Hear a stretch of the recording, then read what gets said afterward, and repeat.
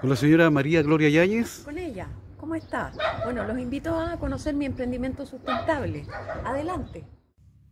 Hola, mi nombre es María Gloria Yáñez y quería mostrarles mi salita y la que consiste en lo que consiste en realidad mi decoración y reciclaje, ya que también podría llamarse una salita de exposición, como ustedes pueden ver.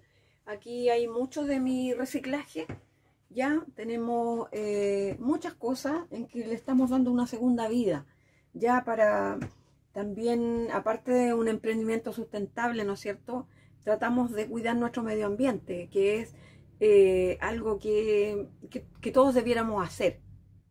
Bueno, usted escogió eh, un emprendimiento que es un poco más complejo en comparación a un simple emprendimiento, que tiene que ver con un emprendimiento sustentable, donde usted tiene que mm, eh, buscar los elementos con los cuales va a crear algo, ¿verdad? Claro, por cierto, hay que también darse el tiempo para ir a buscar, porque hablando de reciclaje, ¿no es cierto? Eh, hay que ir buscando, hay muchos basureros clandestinos también acá en, el sector, en, en, el país, digamos. Entonces nosotras vamos, de repente voy yo, vamos a nivel taller a buscar eso, eso que está ahí botado en la basura, como un lavatorio o como un mueble, una silla. Eh, a todo eso le damos una segunda vida. Con esto del emprendimiento sustentable usted lleva bastante tiempo ya. Sí, bastante tiempo. Llevo muchos años en, digamos, en, en esto de las manualidades o, o de artesanía. Pero esto de la decoración y reciclaje ya llevo alrededor de 10 años en, esto. ¿A través de las redes sociales usted también vende sus productos? Sí, por cierto, también a través de las redes sociales, en mi Facebook, también tengo Instagram, en donde eh, también realizo trabajos a pedido o trabajos personalizados. ¿Y cómo la pueden encontrar a usted? Bueno, en mi, mi Instagram es mgdecora, ¿ya? Y también en mi Facebook, María Gloria Llanes Castro, arroba gmail.com y directamente su domicilio. Por cierto, mi domicilio también en calle Los Maquis, 1105, población Santa Rosa. Acá me pueden ubicar, aprovechar de ver mi salita eh, de, taller y, donde yo trabajo y donde, por cierto, tengo también algunas cositas a la vista y a la venta. Señora María, cuéntenos cómo nace esta idea de realizar este emprendimiento sustentable para mm, decorar el hogar, decorar diferentes lugares con material reciclable? Bueno, eh, mi idea nació eh, también, por cierto, porque yo soy monitora también de manualidades. Entonces, mi idea consistió en reciclar para abaratar un costo en el taller, ya para las alumnas. Así que de este modo hemos tratado de reciclar eh, lo más posible, o ya sartenes, tela también, neumáticos, eh, un sinfín de, cosas para reciclar. Su taller está acá en la localidad de Pelequén. Claro, yo soy de Pelequén, ¿ya? Pelequén es un pueblo pequeño en realidad, en donde ha sido más difícil eh, el tema de las exposiciones o el tema de, las ferias, ¿ya? Entonces eh, es más accesible en pueblos más grandes, donde también, por cierto, tiene otro valor en mi trabajo, ¿ya? Se valora, se, se, gusta mucho más, ¿ya? Porque la gente se da cuenta de que en todo, todo trabajo hay un, hay un, hay, digamos, un, tiempo, un, plazo donde yo eh, trabajo una pieza, por ejemplo, ¿ya? Bueno, algunas personas le dan eh, el valor que corresponde a cada creación suya, o en este caso a, los trabajos que se realizan con material sustentable.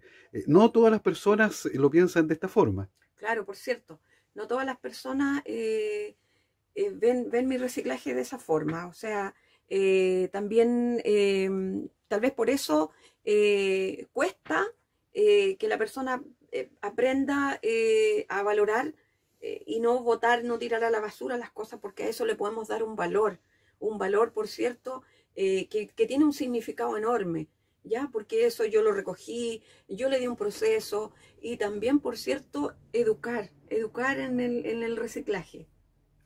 Con respecto a eso, usted tiene unos talleres. Sí, también realizo talleres, tengo tres talleres de acá de la comuna, eh, Santa Inés, eh, Manos Libres, eh, también en Pelequén eh, Las Amistositas en la población Santa Rosa y la Villa Centenario también Villa Centenario, así se llama el taller, ¿ya? Entonces también todo consiste en reciclar, ¿ya? Entonces esto ha dado muy buenos resultados y también ellas pueden también decorar su casa, sentirse felices y satisfechas de haber realizado algo bonito para su casa.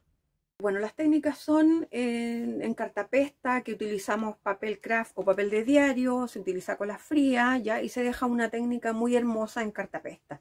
También utilizamos cáscara de huevo como para hacer una imitación mosaico em, y un sinfín de otras cosas, como también crear lo que es pintura con, cola fría, pinturas comunes y corrientes, darle un, un estilo distinto y que nos sirva, por cierto, para decorar un, hervidor, una tetera, incluso tela.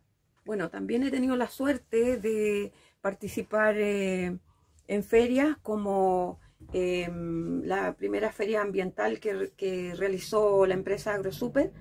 Tuve eh, el agrado de ser invitada a participar por dos años consecutivos. Eh, bueno, la pandemia impidió seguir en esto, pero fue una instancia muy eh, enriquecedora para mí de ver que mis creaciones fueron muy bien valoradas. También en, Santa Cruz, en, la feria que realiza eh, el Banco de Chile en Desafío Emprendedor, también en Santa Cruz, también he participado en el Casino Monticello. ¿Y cómo le fue ahí en el Monticello? Hoy en el Monticello me fue genial, o sea, también tuve la, la suerte de ser invitada a participar ahí donde la gente valoró mucho mi trabajo. Eh, se, valoró, el, por ejemplo, el decorar una teja, esa teja tiene un proceso, todo lo que se recicla tiene un proceso. No es que yo llegue y haga una teja, decore una teja, porque eso tiene que ser un proceso de lavado, de cepillado, de, imprimación, ¿ya? Entonces, he tenido la suerte de tener experiencias muy, muy bonitas en donde se ha valorado mucho mi, reciclaje en decorar de las tejas me lucí en el Monticello, fueron muy bien valoradas y eh, vendí las que llevé. Así que eh, para la persona que tiene tejas, no las bote, decórelas. ¿ya? Esto tiene una, técnica en relieve, ¿ya? un pequeño relieve. Entonces, eh, para decorar y para no botar las tejas. Sí, yo ocupo toda la casa con mi, con mi artesanía, digamos, o con mi taller. ¿ya? Donde aquí ¿Y qué es lo que me va a mostrar ahora? Le voy a mostrar un reloj que estoy haciendo de un sartén, ¿ya? Entonces aquí lo vamos a lo vamos a ya hacer funcionar.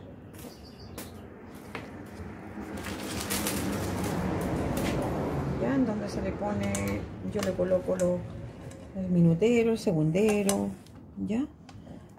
Entonces esto no es, no es complicado, no es difícil.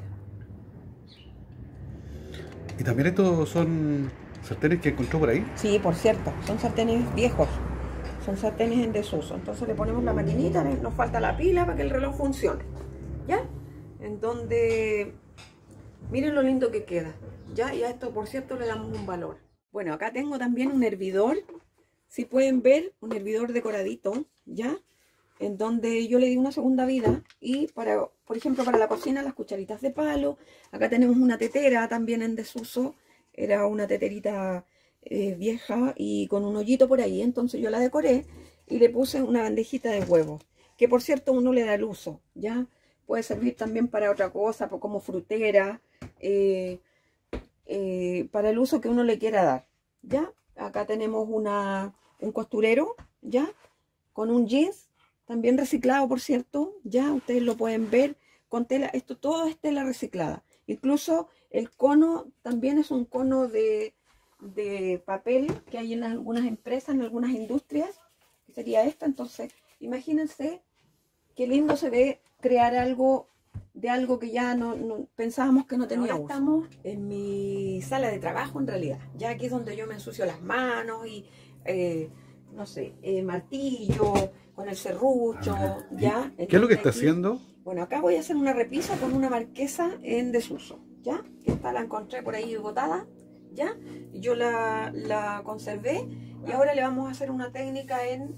Quiero hacer una técnica yo acá en craquelado, ¿ya? Y también en un estilo vintage, ¿ya? En donde va a llevar acá unos, eh, unos colgantes, ¿no es cierto? Una, para colgar, no sé, un pañito de cocina. Esto en realidad, la repisa, yo la voy a hacer y la persona le da el uso en realidad. Si quiere ponerla en la cocina, colgar tazones, paños de cocina, eh, lo que quiera.